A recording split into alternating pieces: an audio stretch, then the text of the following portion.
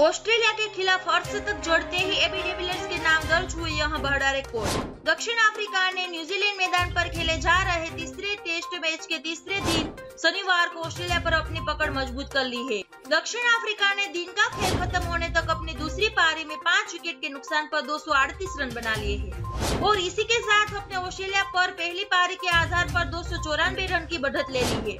दक्षिण अफ्रीका ने अपनी पहली पारी में 311 रन बनाए थे। और ऑस्ट्रेलिया को पहली पारी में 255 रनों से आगे नहीं जाने दिया था। दिन का खेल खत्म होने तक तो एबी डिविलियर्स इक्यावन रन बनाकर नाबाद खड़े हुए हैं। अर्धशतक झड़ते ही डेविलियर्स ने ऑस्ट्रेलिया के खिलाफ एक खास रिकॉर्ड अपने नाम कर लिया है। दरअसल एबी डिविलियर्स ऑस्ट्रेलिया के खिलाफ टेस्ट मैचों में सबसे अधिक रन बनाने वाले बल्लेबाज बन चुके हैं।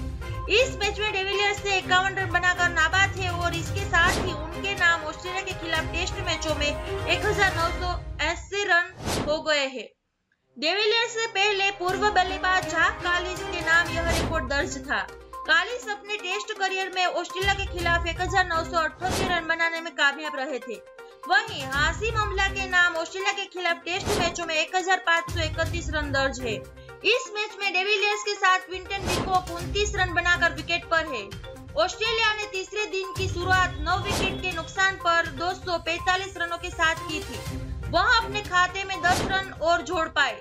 जोस हाजलीवुड के रूप में उसने अपना आखिरी विकेट खोया। अपनी दूसरी पारी खेलने उतरी मेजबान टीम का पहला विकेट पहली पारी में 141 रनों के स्कोर के साथ नाबाद तोड़ने वाले डीन एलगर के रूप में गिरा।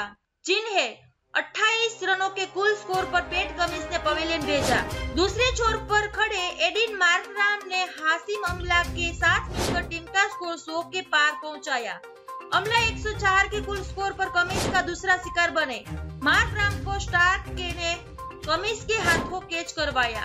उन्होंने 145 गेंदों की अपनी पारी में 10 चौके और दो छक्के लगाए। डेविलियर्स और डिकोक के बीच अभी तक छठे विकेट के लिए साड़तीस रनों की साझेदारी हो चुकी है। फ़िलहाल अभी के लिए बस इतना ही। दोस्तों, अगर आपको ये वीडियो पसंद आया है तो लाइक ज़रूर कीजिए और इस चैनल को सब्सक्राइब करना ना भूलें।